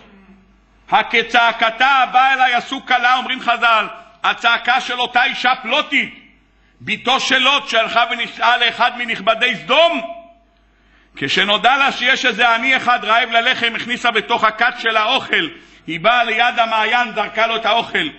אמרו בסדום, איך יכול להיות בן אדם חי שלושה ימים בלי אוכל? הם לא נתנו הרי אוכל לעניים. זה אחד הפטנטים של אנשי סדום. כולם נתנו להם צ'קים ולא נתנו להם לאכול. אחרי שלושה ימים כולם מתו מרעב. היו מוציאים מהמכנסיים את הצ'קים ומחזירים את זה עוד פעם ללקוחות. אחד הפטנטים של סדום, כך כתוב בחז"ל. בא פתאום איך יכול להיות שהיא חיה, חיה, העני הזה חי כל כך הרבה ימים, מתברר שהיא מספקת לו אוכל. מה הם עשו? אומרת הגמרא, הלכו ומרחו עליה דבש, שמו אותה על החומה. והצעקות שלה, אמר הקדוש ברוך הוא, כצעקתה באה אליי עשו כלה. והקדוש ברוך הוא מחליט להפוך את סדום ארדנה והרה. יוצא שהבת שלו מלכות הצדקה יש לה, לוט מסירות נפש. האם ייתכן דבר כזה, מחפשים לו זכויות, אומרים, מה? הוא סגר את הפה. הוא יכל להגיד, היא אשתו, הוא לא אמר שאשתו, מגיע לו זכות. איפה זה מול הזכויות של לוט? רב ארן קוטלר יש לו מהלך משלו לבאר את הדברים, תסתכלו במשנת רבי אהרון. אנחנו רוצים בעזרת השם ללמוד מכאן מושג. דרך אגב, כתוב בספר אוזניים לתורה, שלומדים מכאן שבשעת חירום, כשבן אדם נמצא בצרה והוא צריך זכויות, אוספים לו זכויות מן הגורן ומן היקב. גם בן אדם שיכל להלשין למס הכנסה ולא הלשין, בשעת הדין גם את זה מצרפים. יכלת לעשות, לא עשית, גם על זה מצרפים בשעת הדין. כך כותב האוזניים לתורה. אני רוצה ברשותכם להביא עוד מדרש. המדרש מופיע בויקרא רבה פרק כ"ט אות ט'. בחודש השביעי, מדובר כאן על ראש השנה, רב ברכיה וקורי לי ירחא דשבועתא. רב ברכיה קורא לחודש הזה בשם ירחא דשבועתא, החודש של השבועה, שבו נשבע הקדוש ברוך הוא לאברום אבינו, שנאמר, בי נשבעתי נאום השם, יען אשר עשית את הדבר הזה. מתי זה קרה? אליבא דמדרש הזה, זה קרה בראש השנה. כי בראש השנה נעקד, אברהם, נעקד יצחק אבינו, ובי נשבעתי, אז זה לא רק בחודש השביעי, כי כך זה יוצא, הוא החודש השביעי, זה יוצא גם, נקרא גם יחד לשבועתה. אומר המדרש רב ביבי בר אבא בשם רבי יוחנן עומר עמד אברהם אבינו בתפילה ובתחנונים לפני הקדוש ברוך הוא ואמר ריבונו של עולם גלוי וידוע לפניך בשעה שאמרת לי קח נא את בנך את יחידך היה בליבי מה להשיבך והיה בליבי מה לומר אתמול אמרת לי כי ביצחק יקרא לך זרע ועכשיו אתה אומר לי עלהו שם לעולה ריבונו של עולם, יכלתי להגיד לך, מה זה, אתמול אתה אומר לי ככה, היום ככה? אלא כשם שהיה לי מה להשיבך, וכבשתי את יצרי, ולא אשיב אותיך, כחירש לא אשמע וכאילם לא אפתח פיו, כך כשיהיו בניו של יצחק באים לידי עבירות ומעשים רעים, תהיה מזכיר להם עקידת יצחק אביהם ועמוד מכיסא דין לכיסא רחמים. ותתמלא עליהם רחמים ותרחם עליהם, ותהפוך להם מידת הדין למידת רחמים. אימתי בחודש השביעי. אברום אבינו יש לו מייסה עקדה, הוא מוכן להרוג את הבן היחיד שלו. על מה הוא מבקש? ריבונו של עולם, תזכור, היה לי מה להגיד לך, ולא אמרתי. הייתי כמו אילם וכמו חירש. איפה זה מול מעשה העקידה? יש כאן עקידת יצחק, אומר אברום אבינו, תשמע, יכלתי לדבר, הייתי אילם. לא הוצאתי אף מילה מהפה. על זה לבד מגיע לי שתזכור לבניי. איפה זה מול מעשה העקידה? כדי להבין את יסודם של דברים, גמרא מופיעה במסכת חולין בדף פט. אומרת הגמרא, תולה ארץ על בלימה. אמר רבי אלוהי, אין העולם מתקיים אלא בשביל מי שבולם עצמו בשעת מריבה. תולה ארץ על בלימה, אדם שרב עם החבר שלו, הוא רב עם אשתו או אשתו איתו, והוא בולם את עצמו. היא אומרת משהו, הוא אומר משהו, השכן, החבר, לא מדבר. עליו העולם עומד, דברי גמרא. רב אבאו אמר, מי שמשים עצמו כמי שאינו. לא רק שהוא בולם את פיו, הוא לא נמצא כאן. זה דרבה ויותר גבוהה. בולם את פיו זה אחד שיש לו מה להגיד, רק הוא סוגר, הוא שם ברקס, או יש בלם, הוא בולם את הפה. אבל ברגע שהשתחרר הבלם, זה נוסע. יש אחד אומר, כמי שאינו, לא הייתי, לא ראיתי, לא שמעתי, אני לא נמצא פה. דיברת על הקיר, אני לא, לא שמעתי בכלל, כמי שאינו. אומרת הגמרא, שנאמר ומתחת זרועות עולם, עומר רב יצחוק, מאי דכתיב, האומנם אלם צדק תדברון, משרים תשפטו בני אדם. מה אומנותו של האדם בעולם הזה? ישים עצמו כאילם, יכול על דברי תורה, תלמוד לומר צדק תדברו. הגמרא כאן אומרת שלסתום את הפה זה לא סתם ככה, בן אדם יושב בבית, אין לו עם מי לדבר, אומר, הוא, מה עשית היום? היום עשיתי אומנות. מה עשית אומנות? ישבתי בשקט, בטח ישבת בשקט, לא היה לך עם מי לדבר. אומנותו של האדם בעולם הזה זה מפעל חיים. את זה צריך ללמוד. אומנותו של האדם במאה שנות חיים ישים עצמו כאילם. זה האומנות. הרב פינקוס בספר שלו תפארת שמשון הוא מעריך בנושא הזה של אלם צדק תדברון. הוא מביא שם דוגמה מאוד יפה. אני רוצה לקחת את הדוגמה ממה שהוא כותב שם. הוא אומר, בוא אני אגיד לך מה זה נקרא הבולם את פיו בשעת מריבה. ומה זה נקרא כמי שאינו. הרב פינקוס הרי הוא אלוף המשלים, הוא מביא משל כל כך יפה. הוא כותב שם כך, הוא אומר, בעל אחד חזר מחתונה, וברוך השם חזר מהחתונה, היה אחת בלילה, הוא אומר, מה, אני אלך לישון עכשיו? בוא, אני רוצה להקדיש את כל כולי לקדוש ברוך הוא. מתיישב באחד בלילה עד הבוקר, הוא רואה שהוא הולך להירדם, הוא שם את הרגליים שלו בתוך גיגית עם מים קרים, שם בתוכו קרח, בטוח הוא לא יירדם עד הנץ הוא ממשיך, מחבר את היום בלילה בלימוד, הולך לכולל. נפרד, אוכל ארוחת בוקר, הולך לכולל, אשתו נשארה בבית, יש לו ילד, שני ילדים בבית. אשתו, ברוך השם, מטפלת, היא לא עובדת, מטפלת בילדים. אחד הילדים, בן פורת יוסף, ניגש לאמבטיה, שהיא הייתה לא יודע איפה, ושם פקק בתוך האמבטיה ופתח את המים. היא לא שמה לב, חלפה חצי שעה, שעה, פתאום היא שמה לב שלתוך החדר שינה יש נכנסים מים. מה קרה? הבן שלה בן פורת יוסף שריך ימים. רצה לחסוך מים, ושם את הפקק, פתח את הזרם, וכל הבית התמלא מים. הו, מוישה, למה עשית? היא רצה מהר, מכניסה אותו ללול עם דייסה, ועכשיו יש לה עבודה לאסוף את כל המים מהבית. מישהו פעם עבר חוויה כזאת? בן פורת יוסף. לאסוף מים מכל הדירה, לנקות את כל הדירה, איפה השטיחים, איפה... בקיצור, זו חוויה יוצאת מן הכלל. היא גומרת לאסוף, זה התחיל בעשר בבוקר, עם המג"ב היא אוספת נלחמת עם המים פנימה הכל לתוך החור איפה שהיא יכולה לשלוח את המים.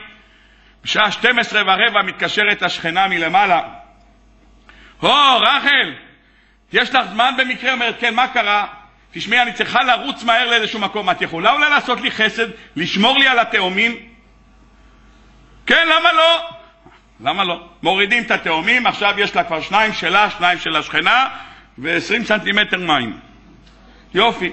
נלחמת לקרב, מגיע השעה אחת בצהריים, ברוך השם, הבית מבריק, אין שום טיפה של מים, אבל אחד, הבעל חודר באחד ורבע, מה, אין צהריים. היא רצה מהר למכולת, פותחת שני קופסאות תירס, שמה לחמם, יש כאלה נקניקיות של טבעול, עשרים דקה וחצי, הבעל מגיע, אומר, מה יש לאכול היום? תירס עם נקניקיות. מתשע בבוקר עד אחד תירס עם נקניקיות? ארבע שעות מה שהצלחת לייצר? תירס עם נקניקיות? היא לא מספרת לו סיפורים, לא מים, שום דבר. אומר, טוב, זה לא בשבילי. יורד למטה, קונה פלאפל, מרד ברכת המזון, גומר לאכול, הולך למיטה. תשמרי על השקט, עם התאומים האלה אני רוצה לישון, לא ישנתי כל הלילה, תני לי לישון שעתיים. שלוש תעירי אותי, שלוש ורבע כולל, שלוש היא מעירה אותו, הולך לכולל, בשלוש וחצי היא מתקטנת, מתקשרת החותנת שלה. או, שלום רחל, מה שלומך? שמעתי עשית היום תירס. איך היה תירס? אה, חותנתי היקרה, חכי רגע על הקו, שתי דקות, שתי דקות על הקו. ניגשת לברז, שוטפת את הפנים, מברכת שהכל נהיה מדברו, שותה, בולעת את כל הרוק עם הדמעות, אומרת, כן, תירס, אבל בעזרת השם למחר אני עושה קישואים יהודים, יהיה בסדר. לא אומרת לא מילה, לא לשוויגר ולא לבעל, שום דבר. אומרים חז"ל, כל הבולם את פיו בשעת מריבה, עליו העולם עומד. אמר רבי אבאו, כמי שמשים עצמו כמי שאינו, הוא לא נמצא כאן. פוגעים בו, אומרים לו, הוא אפילו לא מגיב, הוא לא אומר, כן, נתתי, עשיתי זרימה, מים, שכנים, שום דבר. אומרים לו, הוא לא מגיב בכלל. זה נקרא שעליו העולם עומד בשעת מריבה. אנחנו בעזרת השם רוצים לעמוד על נקודה נוספת ונוכל בעזרת השם לסגור את הקצוות. דיברנו לפני, אני לא זוכר להגיד לכם מתי, אתם תזכרו יותר טוב ממני מתי דיברנו על זה. יש דבר שנקרא הערכה. אני לא מדבר על גאווה, זה לא שייך לציבור פה. הציבור פה, מי שמשתתף פה בשיעור, אין לו קשר לגאווה. אני מדבר על דבר שקוראים לו הערכה. מה זה הערכה? יש בן אדם שכל מה שהוא רוצה, הוא רוצה שידעו מזה. כל דבר שהוא עושה, כל בניין שיהיה כתוב שהוא נתן שם את החלון, את הווילון, את ה... כל דבר, מה שהוא עושה, כולם ידעו. הייתי פעם אצל הגאון רב חיים קניאסקי שליטאו, היה ויכוח לגבי משהו, אז הוא אמר לתורם, מה אכפת לך אם יהיה כתוב או לא יהיה כתוב? אתה יודע, הקדוש ברוך הוא יודע, ואבא שלך המת גם יודע, אז מה אתה צריך שיותר ידעו מזה? אומר, אתה צריך שלטים? בקיצור, יש בני אדם שצריכים, שידעו, שיראו. זה לא קשור לנושא שאני מדבר עכשיו. יש דבר שקוראים לו הערכה. מה זה הערכה? בן אדם שעושה דבר מסוים רוצה שיגידו לו על זה תודה רבה, שיעריכו את מה שהוא עשה. יעריכו, זה לא קשור לגאווה, אני חוזר ואומר שוב. זה לא הכרת הטוב, הערכה. בן אדם עשה פעולה מסוימת, הוא רוצה שיעריכו את מה שהוא עשה. מה אני מתכוון? אישה עשתה מרק טוב, היא רוצה שיגידו לה תודה רבה. הבעל הביא פרחים, הוא רוצה שיגידו תודה רבה. זה דבר מינימלי. מינימלי נצרך לכל בן אדם, לכל ילד. הוא גמר את האוכל, יגידו יופי מוישלה, גמרת את האוכל. הוא אוכל, גמר לאכול, הוא צריך להגיד לאשתו תודה רבה, אני מעריך מאוד את זה ששלוש שעות בישלת, אני מעריך את זה שאני באתי הביתה והבית מסודר. הבית מסודר. זה לא קשור לגאווה, זה קשור להערכה, זה דבר מינימלי שכל בן אדם נצרך לו לקיומו היומיומי. בן אדם שלא מעריכים את מה שהוא עושה, אין לו טעם לחיות. למה אני הולך קיצוני כל כך? כי זה גמרא. אני אקח את הגמרא, ואת הגמרא הזאת נפתח לממש לפרטי פרטים, למרות שזה לא כתוב בגמרא הצבע שאני הולך לעשות עכשיו, אבל פשוט לדמיין את זה. הגמרא במסכת תענית מספרת סיפור. מספרת הגמרא שחוני המעגל שאל את עצמו שאלה, איך יכול להיות בשוב את שיבת ציון היינו כחולמים, איך אפשר לישון כל כך הרבה זמן? שיבת ציון זה 70 שנה, אפשר לישון 70 שנה? הוא אמר, אני אראה לו שאפשר לישון 70 שנה. בקיצור, הוא הולך בדרך ורואה אחד שותל עץ חרובים, אומר לו, בשביל מה אתה שותל חרובים? הוא אומר, מה, זה מוציא פירות עוד 70 שנה? הוא אומר לו, אני לא יודע, אני באתי, היה חרובים. כנראה שההוא שתל את זה בשבילי, אז אני שותל את זה לדורות הבאים. הלך עוני המעגל, נרדם, באיזושהי מערה, לא מצאו אותו. המפורשים אומרים שאותה זמן היה מלחמה, בקיצור, לא מוצאים אותו. 70 שנה חוני ישן. 70 שנה. הוא מתעורר אחרי 70 שנה, הוא חוזר בחזרה, רואה את עץ החרובים. כולו עומד, מוציא פירות, אומר, מה, אם זה כבר עומד, חלפו 70 שנה. תארו לעצמכם מה קורה, חוני הולך הביתה. הוא מגיע לבית איפה שהוא היה גר, הוא נכנס, פוגש ישיש בן 87, פותח לו את הדלת. הוא שואל, סליחה, זה הבית של חוני פה? הוא אומר, כן. תגיד לי, דוד, הבן שלו, נמצא? הוא אומר, לא. איפה הוא? מה זה איפה הוא? מת משפעת מקסיקו לפני אה, חמש שנים, הוא היה בן 98 במותו. ואברהם, הבן של דוד, מת בגיל 89. אה, מי אתה? אני הנכד. אני הנכד של דוד. ומי הקטנים? אומר, אלה נינים שלי. מי אתה? שואל אותו ההוא בדלת. אומר, אני חוני המעגל. מה? אתה חוני המעגל? אם עוד פעם תבוא לפה אני אדמין משטרה. לא ככה. מגיע בן אדם, אני חוני, גרתי פה, אני חוני. סוגר את הדלת, פה לא מקבלים אותו, איפה הוא הולך? בית כנסת. נכנס לבית כנסת, כולם מדברים בלימוד, ברוך השם, בריתחא דאורייתא. אחד שואל עשרים קושיות על סוגיה, ממש. נכנס חוני, שומע את הדרשה, ופתאום הרב אומר, וואה, הרגע עלה לי ברעיון תירוץ שעונה על כל השלושים ושתיים קושיות. על זה אומרים נהירין שמייטתא כי בימי חוני. אמרו שבתקופה של חוני כך היה. אה, בהירות כזאת. הכל ידעו, נהירין שמייטתא. שומע את זה חוני אורו עיניו. סליחה, הוא אומר, אני חוני. מה אומר? היה פה שבוע שעבר, אחד אמר שהוא רבי עקיבא. זה קורה.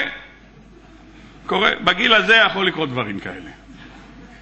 יוצא חוני החוצה ואומר או חברותא או מיתותא. למה? למה למות? מה קרה? למה או חברותא ומיתותא? מה קרה? לא מכירים בו כחוני המעגל, לא מכירים בו. אז מהיום הוא יהיה משה ברקוביץ'. לא מכירים בו. מחר בבוקר ילך, יקנה תפילין, יניח תפילין, יקיים מצווה מדאורייתא של הנחת תפילין, יקרא קריאת שמע, יישב בבית מדרש, הרב יתחיל לתת דרשה, אחרי שהוא יתחיל לתת דרשה, יישב התלמיד החדש, שקוראים לו מוישה ברקוביץ', וישאל אותו שאלות. ועוד מה שהרב אומר, זה סותר את עצמו מארבע מקומות בשעה, שש מקומות בתוספות, שהוא יושב במקומות בטור, והרב באותו רגע יורד מהבמה, אומר, אולי כבודו ייתן, בבקשה. יכירו בו, יתחילו להשאיר לו יומים, ולאט לאט, עד שיהיה גדול הדור, שלושה ארבעה חודשים, יחזור למקומו.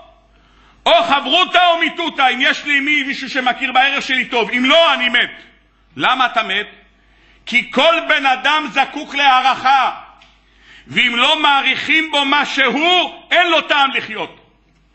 בן אדם שהגיע למעמד מסוים, לא, אני אספר לכם סיפור. היה רופא מסוים שטיפל בקרוב משפחה שלי. טיפל בקרוב משפחה שנים, עשה ניתוח. אחרי כמה זמן הוא עלה לדרגה של פרופסור. אז הלכנו לבקר אותו, את הפרופסור הזה, ואיזה ביקור, בקיצור, הוא אומר צריך ניתוח חדש. הוא אומר, טוב, תקבע. הוא אומר, לא, אני כבר לא עושה את זה. אמרתי לו, למה אתה לא עושה את זה? מה קרה? לפני שלוש שנים עשית את זה. זה קטן עליי. קטן עליי. אמרתי, למה? אתה לוקח 15,000 שקל בשביל הקטן עליי. מה? למה לא? תאר לעצמך שראש ישיבת, תשמעו משל שהוא אומר לי, תאר לעצמך שראש ישיבת פוניביץ' אומרים לו למלא מקום בכיתה ח' בבית ספר של החינוך העצמאי. נראה לך? לא, ככה אני לא הולך לעשות ניתוחים, זה קטן עליי. בסדר. בירכתי אותו, זה הקטן, גדול יהיה. יופי. אדם מגיע למעמד מסוים, הוא רוצה שידעו, אני פרופסור, אני לא מתעסק עם קטנות. להבדיל אלף אלפי הבדלות, חוני, גדול הדור. אם לא מעריכים אותו ואומרים לו, אתה מי, מה, אתה חוני, מי אתה, מאיפה באת, אני מעדיף למות כי לא מעריכים אותי. כל בן אדם זקוק להערכה. חלק מהערכה, כשהוא עושה פעולה מסוימת, הוא גומר להתפלל, הוא חזן, שיגשו אליו, אה, היה משהו יוצא מן הכלל. אה, היה משהו, בעל קוירה, משהו יוצא מן הכלל. הוא עשה ספונג'ה, יפה מאוד. הוא גמר לעשות ספונג'ה בבית, לא משנה שכל הבית מלא סימנים איפה שהוא דרך. תגיד לו, היה יפה מאוד עשית פה. אפשר לזרוק את הפיליפינית. יופי. תגיד לכל דבר, תיתן קומפלימנט לכל דבר. זה חלק מהרצון לחיות, המהות של החיים. זה לתת, להעריך מה שבן אדם עושה. זה טבע של האדם וזה טבע מובנה, זה לא דבר שלילי, זה דבר חיובי. דבר אחד ברור, רחל אימנו עשתה את בדיוק להפך. כל פעולה שהיא עשתה היא לא רצתה שידעו שהיא נמצאת מאחורי הפעולה. זה דבר שהוא הפך ההיגיון. רבותיי, בואו נראה פרשת השבוע שלנו. לבן רודף אחרי יעקב, הוא רוצה להרוג אותו. הוא רוצה להרוג אותו, מה הוא אומר? יש לאל ידי לעשות עמכם רע, אבל מה, ואלוקי אביכם אמש אמר אליי, ישמר לך מדבר עם יעקב מטוב ועד רע. תיזהרו, אני יכול להרוג אתכם, אבל הקדוש ברוך הוא נגלה אליי, ואמר לי לא לעשות את זה. בשביל מה אתה מספר את הסיפור הזה? מה אתה רוצה להגיד? שאתה לא יכול לעשות כלום. אז בשביל מה אתה מספר סיפור? אני יכול להרוג אתכם, אבל אמרו לי לא להרוג אתכם. אז בשביל מה אתה מספר את כל הסיפור הזה? הוא רוצה להרוויח שני ציפורים. א' כל אני יכול להרוג אתכם, אני יש לי כוח, וחוץ מזה הקדוש ברוך הוא מדבר איתי. אז הוא מדבר שני דברים. תדע לך, אני לא אדם פשוט. הקדוש ברוך הוא דיבר איתי. אני גם יכול להרוג אותך. מה הוא רוצה להרוויח? הוא רוצה שיעריכו את, המ... את הכוחות שיש לו. אחד הדברים שאדם רוצה שיעריכו אותו זה כשהוא עושה פעולה מסוימת ויכירו בפעולה שהוא עשה. הולכת רחל אימנו שבע שנים, מקבלת מתנות, היא לא פותחת את הפה. מקבלת מתנות, מעבירים את זה אליה, היא לא פותחת את הפה. מגיע ליל החתונה, היא מוסרת לאחותה את הסימנים. היא מוסרת לאחותה את הסימנים, היא אפילו לא אומרת לאחותה, תשמעי, זה סימנים. זה לא סימנים. אני מלמד אותך הלכות. הראיה שבחלוף ארבע שנים, כאשר היא באה לבקש דודאים, אומרת לה, המעט קחתך את אישי, אני לקחתי? אומרים לך, מכאן ראיה, שהיא לא סיפרה אף פעם שזה סימנים. היא ידעה להסתיר את עצמה, שזה לא סימנים, כדי שאף אחד לא ידע. אומרים חז"ל, בשכר צניעות שהיה בה ברחל. זכתה ויצא ממנה שאול. מה זה קשור לצניעות? צניעות שאומרים אישה הולכת צנועה, מה זה צנועה? יש לה מקומות שהיא צריכה לכסות בגוף, אם מכסה היא צנועה. אומר מאיר חודש יכול להיות אישה או איש צנועים, הכל מכוסה, אבל היא הולכת בחוצר צניעות, הוא הולך בחוצר צניעות. למה? אם הוא הולך בבגד שכל אחד ברחוב מסתכל עליו, אז הוא ילבך ומכוסה את הכל, אבל הוא חוסר צניעות. צנוע פירושו של דבר, אני לא נמצא כאן. זה צנוע. אני הולך ברחוב ואף אחד לא שם לב שאני נמצא. אם אני מכוסה וכל אחד רואה שאני נמצא, זה חוסר צניעות. רחל אימנו, אומרים חז"ל, בשכר צניעות שהיה בה. מה זה צניעות? כל פעולה שהיא עשתה, היא עשתה בלי שידעו, אני לא נמצאת כאן. עומר רבבו, על מה העולם עומד? על מי שמשים עצמו כמי שאינו, עליו העולם עומד. כשהקדוש ברוך הוא מחפש בזכות מה לבנות את בית המקדש. בזכות מה? בשביל רחל. רחל אימנו בשבילה ייבנה בית המקדש. חשבתי, אני חושב, רק רעיון. אומרת המשנה במסכת אבות, האומר דבר בשם אומרו מביא גאולה לעולם. כך אומרת המשנה. מלהלן מאסתר המלכה. ותאמר אסתר למלך בשם מרדכי. למה האומר דבר בשם אומרו מביא גאולה לעולם? כותב המהר"ל, בן אדם ראה רעיון בספר מסוים. הוא ראה בספר חסדי אליהו רעיון, יש לו דרשה, הוא לא צריך לעבוד על הדרשה. יש לו שני אופציות. הוא בא, הוא אומר ככה, אוי, הלילה ישבתי עד ארבע לפנות בוקר. חשבתי עדי, בסוף היה לי גילוי אליהו, וברוך השם יצא, יש לי רעיון נפלא. הוא מייחס את הדברים לעצמו. יש בן אדם אומר, אני שום דבר. ראיתי בספר חסדי דוד, ראיתי בספר דברי שאול, ראיתי בספר... הכל, שום דבר לא ממנו. אומר הקדוש ברוך הוא, דרכו תבוא הגאולה. למה? אומר המהר"ל, בוא ותראה, כל ההגדה של פסח לא מוזכר שמו של משה רבינו. למה לא מוזכר שמו? כל ההגדה של פסח. למה? כדי שידעו שאת כל הגאולה עשה הקדוש ברוך הוא. שום דבר לא, אף אחד מבלעדי הקדוש ברוך הוא. אבל אם אני אעשה גאולה והוא בטבע שלו כל דבר מייחס לעצמו, אז הוא יגיד שהוא עשה את הגאולה. אם אני אביא את המשיח, הוא יגיד כן, דיברתי עם חבר כנסת, סידרו לו כניסה, הבאתי לו את החמור. אני ארגנתי את זה, אני בעניין. הקדוש ברוך אומר, אני רוצה להביא גואל, שידעו שאני הבאתי אותו. אומרים חז"ל, בזכות מי הוא יבוא? בזכות מי שיודע לומר דבר בשם אומרו. הוא משייך את הדבר ליוצרו, אומר הקדוש ברוך הוא, אני אביא גאולה, הוא ידע לשייך אותה לבורא יתברך. מה זה כשבן אדם משייך דבר ל, ליוצר שלו? זה משים עצמו כמי שאינו, אני לא נמצא כאן. אומר רבי אבאו, על מי העולם עומד? לא רק על בולם פיו בשעת מריבה, על מי שמשים עצמו כמי שאינו, הוא לא נמצא, עליו העולם עומד. אין לך בן אדם שמשים עצמו כמי שאינו, כמו שרחל אימנו. עושה, פוגעים בה, לוקחים לה מתנות, היא מוסרת סימנים, ולא מדברת אף מילה, משימה את עצמה כמי שאינה. אומר הקדוש ברוך הוא, בשבילך רחל, בשבילך אני מחזיר בנים למקומם. חשבתי על רעיון, תרצו תקבלו, לא תרצו גם טוב. הגמרא במסכת בו בבשר דף ע"ה, אומרת הגמרא, ושמתי קדקוד שמשותייך, אמר רב שמואל בר נחמני, פליגי בה תרי מלאכי ברקיע, חד אמר שוהם ואחד אמר יושפה. ושמתי קדקוד שמשותייך, שואלים חז"ל, איזה אבן זה קדקוד? בשמיים נחלקו מלאכים. יש מחלוקת מי המלאכים. נחלקו המלאכים, אחד אומר זה שוהם, השני אומר יושפה.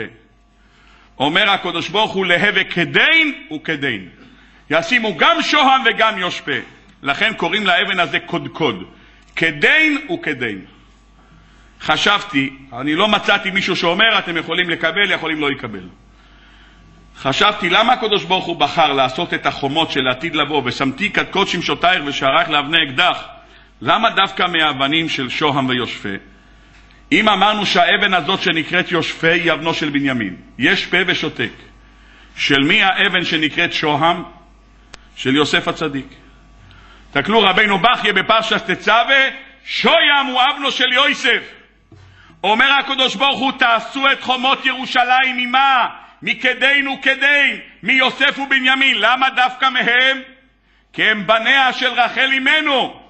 רחל אמנו שמה את עצמה כמי שאינה. אם מדברים על הגאולה השלימה, איך יבוא גואל? במי שמשים עצמו כמי שאינו. אומר הקדוש ברוך הוא, בשבילך רחל, אני משיב את ירושלים למקומה, את בניין בית המקדש.